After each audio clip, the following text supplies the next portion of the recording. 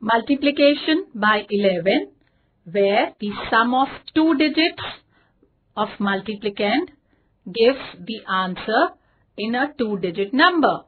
Take a sum 2824 multiplied by 11. Step 1. Make a sandwich of a number between zeros. Now add 0 and 4. Your answer is 4. Place it on the unit digit of the answer. Next step, add 4 and 2. Your answer is 6. Put it on the tens place. Now third step, add 8 and 2. Your answer is 10.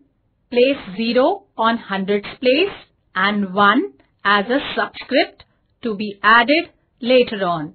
Next step, add 2 and 8 which will give you 10 as the answer. Now add the subscript which will make it 11. Place 1 at the thousand place and 1 as subscript. Last step, add 0 and 2.